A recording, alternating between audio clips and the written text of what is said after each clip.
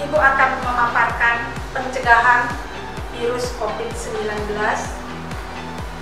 uh, di mana ini sangat ngetren untuk di tahun 2019 sampai tahun 2020 Juli ini. Sebelumnya, Ibu akan perkenalkan nama Ibu keterdahulu.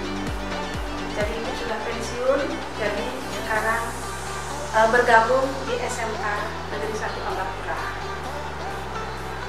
Sebelum kita mulai, mari kita memanjatkan uh, puji syukur kepada Tuhan. Jadi kita awali dengan rumah Om Swastiastu. Jadi kita lanjutkan adalah virus corona. Jadi disebut juga COVID-19 adalah novel virus atau COVID-19 adalah virus yang baru menyebabkan penyakit saluran pernapasan dan virus ini juga satu koloni, satu keluarga dengan virus penyebab SARS dan MERS.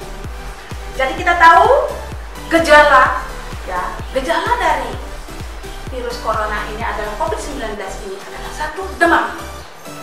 Demam, jadi tubuh kita, suhu badan kita adalah lebih dari 38 derajat Celcius. Kemudian batuk, pilek, gangguan pernapasan, sesak napas, apnu bahasa kerennya, kemudian sakit tenggorokan. Sakit tenggorokan itu saat menelan maupun saat makan sampai letih lesu. Pencegahan. Pencegahan daripada COVID-19 ini adalah sering cuci tangan di air mengalir. Gunakan masker. Ya baik pasien batuk pilek maupun siapa pun juga harus memakai masker. Konsumsi gizi seimbang. Kemudian hati-hati jangan kontak pada hewan ataupun binatang karena kita tahu virus ini juga bisa berada di binatang rajin berolahraga. Ya kemudian istirahat teratur. Karena berolahraga jadi tubuh kita pada darah kita akan menjadi lancar. Kemudian istirahat yang cukup jadi tubuh kita hormon-hormon kita bekerja untuk meningkatkan imunitas tubuh kita.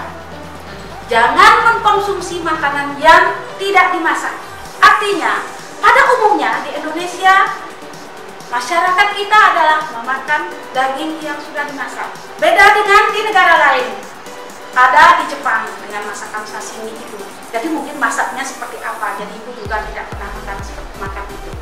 Bila batuk, pilek, dan sesak napas, segeralah ke fasilitas kesehatan untuk meminta bantuan kesehatan kita dicek seperti apa, apakah terpapar atau tidak. Karena kita tahu selama ini vaksin untuk virus corona ini belum ada. Jadi ingat itu anak-anak, vaksin belum ada. Maka dari itu harus kita waspada. Cuci tangan dengan sabun di air mengalir. Ini adalah ada 6 langkah anak-anak, 6 langkah selama 60 detik atau 1 detik. Itu sudah mengeluarkan atau menghilangkan virus-virus yang ada di tangan.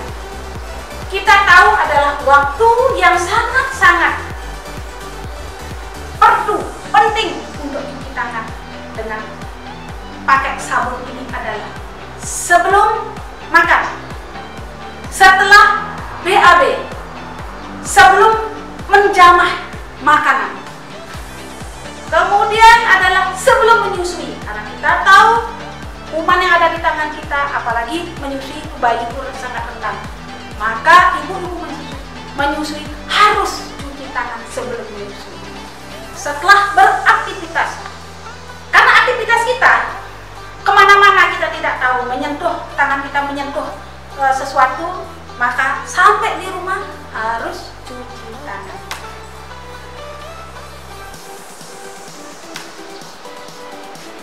kita tahu siapa pun juga harus mempergunakan masker.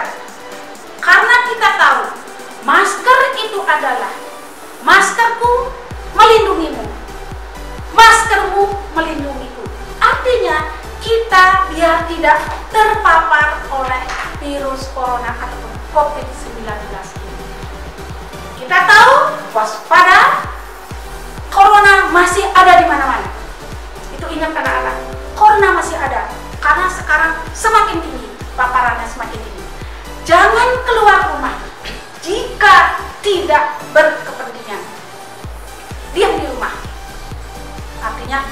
Dekijat-kijat ya di rumah saja. Itu anak-anak itu harus anak-anak uh, pahami. Di luar banyak orang tanpa gejala. Terpapar virus corona. Jadi dia tidak menimbulkan gejala seperti demam batuk panas. Itu tidak. Banyak yang tidak menimbulkan gejala. Jadi ingat tadi ibu sudah sampaikan lindungi diri, diri kita dengan masker ke mana pun anak-anak pergi harus memakai masker. Keluar rumah pakai masker. Ada semboyan. Masker bedah memang baik. Tetapi lebih baik pakai masker kain daripada tidak memakai masker sama sekali. Boleh pakai masker kain. Yang penting anak-anak cuci setiap hari.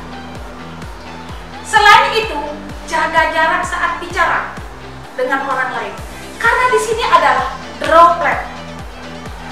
Droplet itu adalah percikan dari air liur saat bicara, kemudian ingus saat bersin, itu sangat-sangat menginfeksi orang lain. Sering mencuci tangan, tangan memakai sabun di air mengalir. Jadi itu yang bisa Ibu sampaikan pada anak-anak. Jadi mudah-mudahan apa yang ibu sampaikan bisa dipahami. Untuk itu, kalau ada kesalahan, ibu mohon maaf. Uh, jadi ibu tutup dengan para masaki. Om Santi Santi Santi.